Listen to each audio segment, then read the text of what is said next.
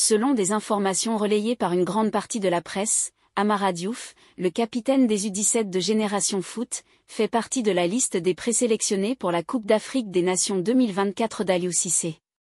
Avec la possibilité pour le sélectionneur de convoquer 27 joueurs, il est donc possible qu'Amara Diouf soit inclus dans la liste finale pour la CAN 2024, d'autant plus que l'équipe nationale du Sénégal ne compte actuellement que trois ailiers, à savoir Sadio Mané, Iliman Ndiaye et Ismail Assar.